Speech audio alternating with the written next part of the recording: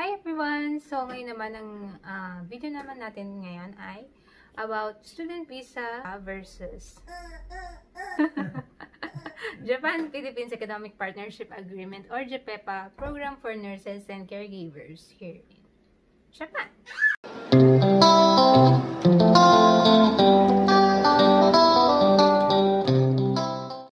Kung napanood nyo na yung isa kong video na about student visa, um, compare naman natin siya sa um, JPEPA. Or ngayon, ang mas popular, mas popular na tawag sa kanya sa mga caregivers ay EPA or EPA. Sa mga mga na-hair na. E- EPA. EPA or EPA. And JPEPA is hindi lang or sabihin na nga natin EPA kasi hindi lang naman Japan, Philippines. Kasi meron ding Vietnamese and meron ding Indonesian. Pagbasahin natin ngayon ay ay yung length, process, payment, and then work hours, and benefits. Student visa. Um, sa student visa, ang duration nan ay depende sa'yo kung anong gusto mo. Kung one year, that's the shortest, I think. One year, 1.5, 1.5 years. And then, um, meron, ang pinakamahaba is 2 years. Ah, kung Japanese language lang. Pero kung gusto mo pa yung i-extend, kung gusto mo mag-daigaku or university, another visa yon So, pagdating sa JPEPA, ang program ay 3 years. 3 years sa Japan. Pero bago ka makapunta ng Japan, meron kang 6 months training, 6 months sa Pinas, and then 6 months din dito sa Japan. Balik tayo sa student visa. So, yung process. Ang process ng student visa, based on my experience, ay sa agency siya. Kasi ang pa naman ay sa POEA direct. Pagdating naman po dun sa um, ngayon po kasi ang requirements sa ano ngayon process nila complete mo dapat yung requirements pag nagpunta ka sa POEA. Kasi kung hindi mo kompleto, hindi ka nila entertain or sasabihin lang nila sa'yo, hindi pwede, kailangan kompleto. Kaya, sayang naman yung pamasahe mo. Kaya kumpletuhin mo muna yung requirements bago ka magpasa sa POEA para hindi sayang effort, hindi sayang pamasahe. At ugaliin na yung anong tawag doon yung may red ribbon dapat yung red ribbon mo talaga ay maaga mong nakuha hindi yung kung kailan mo lang siya kailangan saka mo siya kukunin para doon sa pagpasa mo kasi yun yung nagpatagal sa akin kapag na-hair ka na pag na-hair ka na ang JPEPA uh, magta-training ka ng TESDA 6 months So, with free accommodation yun and allowance. Um, de, kung magkano yung allowance, depende rin yun sa days ng um, sa days ng ipapasok nyo sa isang buwan. While sa student visa, walang allowance, kundi ikaw yung shoulder lahat. Yes, student visa nga, di ba? Tapos, placement fee placement fee kapag um, student visa, agastos ka ng ako sa, ano ko, sa experience ko, gumastos ako ng 70,000. Pero yon ay way back 7 years, 8 years ago. So, ngayon, hindi ko na alam kung magkano. Sa JPEPA naman, gagastos ka ng pang medical lang. Wala talagang placement fee kasi libre na lahat. Then, work hours. Pagdating sa student visa, meron ka lang 28 hours a week. Fixed yan. At kung gusto mo naman na mag-work pa sa iba, bawal siya actually. Baw bawal talaga yung bawal ha. Sa pa naman ay 8 hours per day benefits.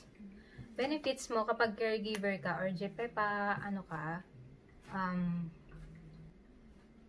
free accommodation, free books, allowance, yung plane ticket pa ba, papunta, and then yung pabalik naman, ang magsasagot nun ay yung employer.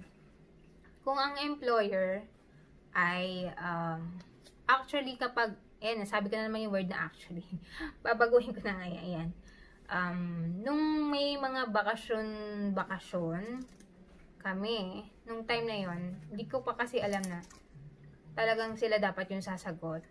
Kasi nung first na uwi namin, ang naging bayarin namin, half ay sinagot ng employer at half ay kami ang nag-shoulder. So, kasi ang katwiran nila, uuwi din daw kami at ano, kami naman daw yung parang mag enjoy ka rin naman, na uuwi ka.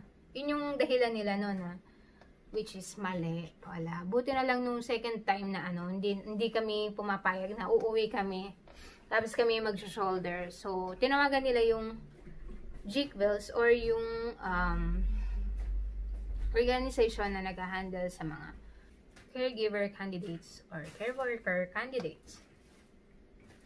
So, yun. Sinabihan sila nung um, GQuels na sila dapat yung mag-shoulder ng plane ticket. Dapat nga meron pa yung ano eh, uh, pa-hotel kung pa-uuwiin. So, ayan.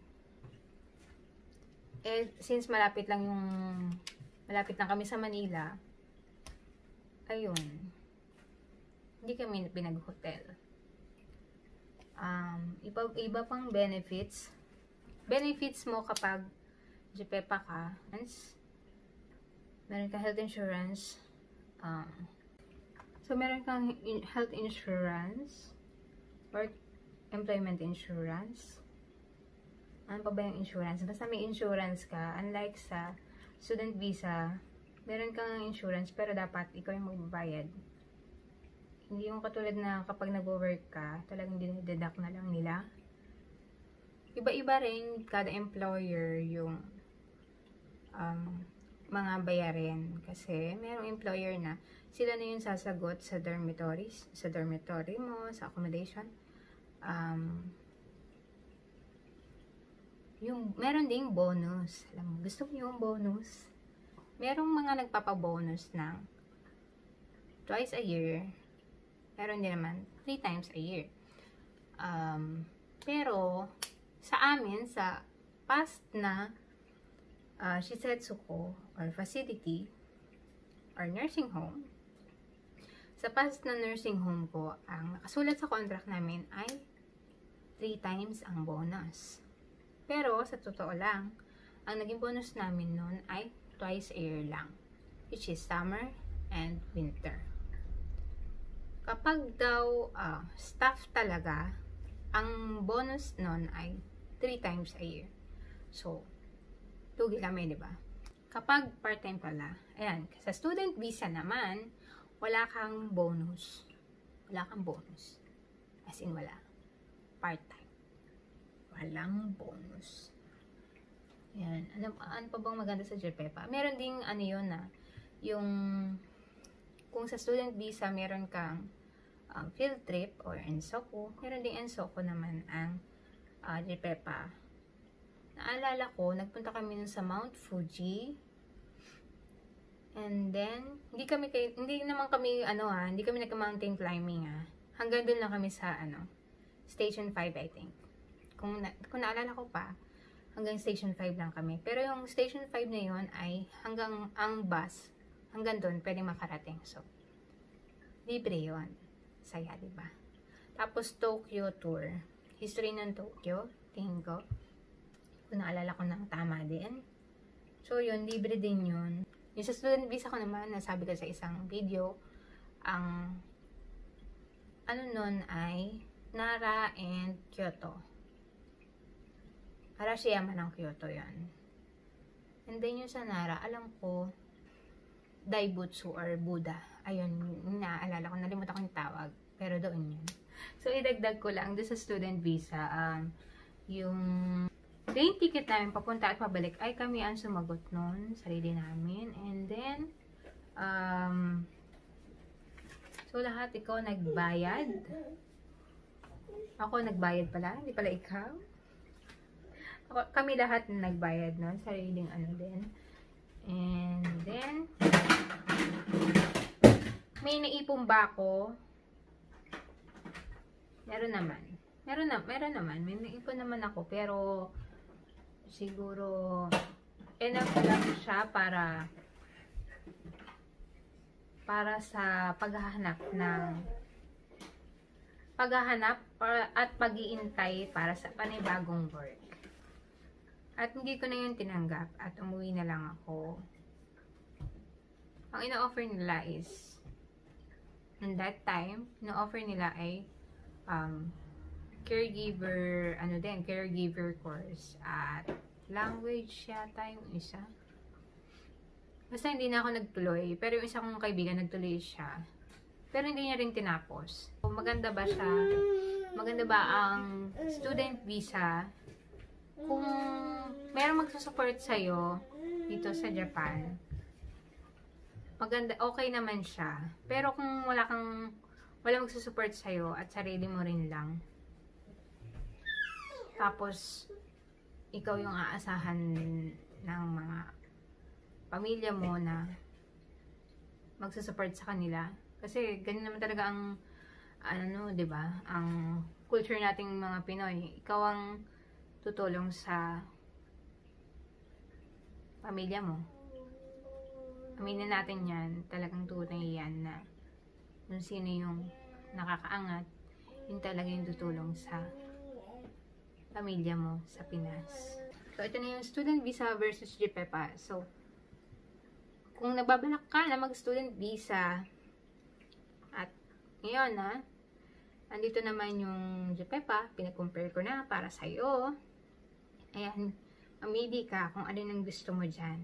Kung itutuloy mo ba talaga yung pag-student visa mo, or mag-ano ka ng GPEPA, or mag-caregiver ka.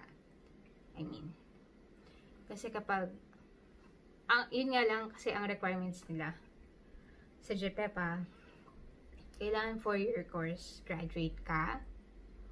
O 4-year course graduate plus um, NC2 passer kung hindi ka kung hindi nursing yung um, kung hindi nursing yung tinapos mo. Kaya lang kung hindi ka nga kung wala ka nga nung NC2 syempre, doon ka sa student visa, kailangan mo lang talaga maghanap ng uh, magandang school na maghanap ka ng school na swak sa'yo. So, sana nakatulong to sa'yo at bye na. sayonara mata nih